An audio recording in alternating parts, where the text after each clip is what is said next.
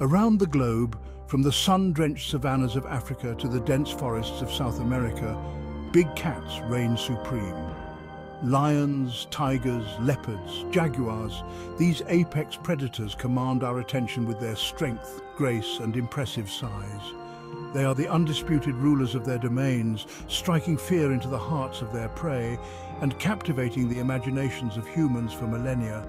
Their size is not merely for show, it is a testament to their evolutionary journey, a precise adaptation to their environment and hunting strategies. But a curious question arises when we consider the canine world. Why are there no dogs that match the imposing stature of these feline giants? The story begins around 42 million years ago when a common ancestor of both dogs and cats roamed the earth. This ancient carnivore, a creature known as a miacid, gave rise to two distinct lineages. Feliformia, which led to modern cats, and Caniformia, from which dogs, bears and weasels evolved. From this point onward, dogs and cats embarked on vastly different evolutionary paths, their destinies shaped by the relentless forces of natural selection. These diverging paths led to distinct physical and behavioral adaptations. Cats, with their emphasis on stealth, agility and powerful fatal bites, generally evolved as solitary hunters. Dogs, on the other hand, with their emphasis on endurance and social cooperation, generally adopted pack hunting strategies. While no wild dog living today comes close to the size of a tiger or lion, the fossil record tells a different story. Introducing Epicyon, a genus of gigantic canids that roamed North America between 16 and 9 million years ago. These prehistoric predators were giants among dogs, with some species like Epicyon haydeni estimated to have weighed over 200 pounds larger than the largest African lions alive today. So why did these canine titans vanish from the face of the earth, while big cats continue to thrive?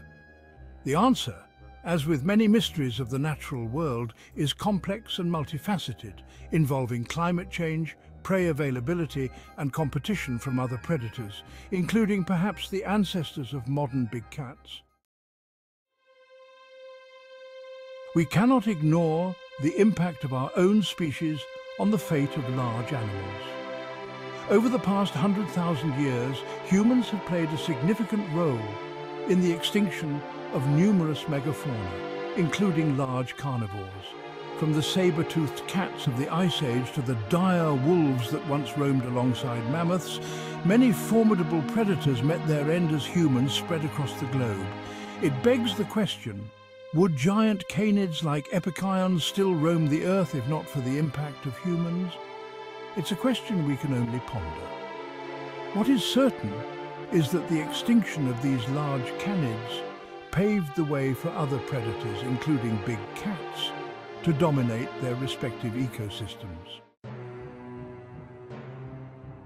Section 5. Silent Hunters, the prowess of big cats. Big cats are the epitome of grace and predatory power. Their hunting strategy relies on stealth, ambush, and a decisive burst of speed and strength. Consider the tiger, a solitary hunter that relies on its camouflage and cunning to stalk its prey. When the moment is right, it explodes from its hiding place, delivering a fatal bite with its powerful jaws and sharp teeth. Lions, while often portrayed as social hunters, employ a similar strategy. Lionesses, the primary hunters, use teamwork to stalk and ambush prey, relying on a coordinated attack to bring down zebras, wildebeest and other large herbivores. Section 6. Endurance Hunters, the Pack Strategy. Dogs, in stark contrast to their solitary feline counterparts, are masters of endurance hunting. They have evolved to work together, using their keen senses, physical stamina and coordinated movements to chase prey over long distances. African wild dogs, for instance, will pursue their prey relentlessly, taking turns in the chase until the exhausted animal collapses. Wolves, with their chilling howls and coordinated hunting strategies, are another prime example. They rely on their intelligence, communication skills and pack structure to bring down large prey such as elk and deer. Section 7, Grey Wolf versus Siberian Tiger, a case study. The stark difference in hunting strategies between big cats and wild dogs is perhaps best illustrated by comparing the grey wolf and the Siberian tiger, two apex predators that inhabit similar environments. The Siberian tiger, a solitary hunter, relies on stealth and a powerful pounce to take down large prey such as deer and wild boar. The grey wolf, on the other hand, depends on its pack to pursue prey. They will chase their quarry for miles, testing its endurance and isolating weaker individuals. While a single wolf may not be a match for a Siberian tiger, a pack of wolves can and does take down prey many times its size. Section 8. The size of the prize prey and predatory prowess. The size difference between big cats and wild dogs can be partly attributed to the size of their typical prey. Big cats, with their powerful build and deadly claws, are equipped to take down large ungulates, sometimes even exceeding their own weight. This ability to secure large meals provides them with the energy reserves needed to sustain their larger body size. Wild dogs, while capable of bringing down large prey as a pack, typically target smaller animals. Their hunting strategy based on endurance and wearing down their prey is better suited to taking down prey that is closer to their own size. Section 9. Adaptability, the key to canine success. While wild dogs may not have attained the same colossal proportions as their extinct canid ancestors or their modern feline counterparts, they have achieved something arguably more remarkable, adaptability.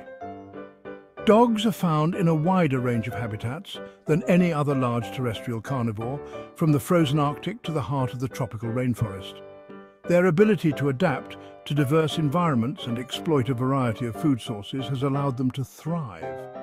This adaptability, more than sheer size, is the hallmark of their evolutionary success. Section 10, the evolutionary tapestry.